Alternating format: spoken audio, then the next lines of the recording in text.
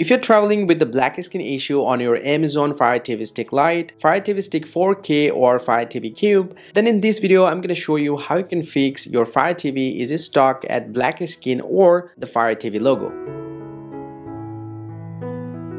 Here as you can see, my Fire TV is keep showing me this black screen error. So now in order to fix this issue, first just go ahead and plug your Fire TV power source. And then wait around 30 seconds power back on and then take your issue.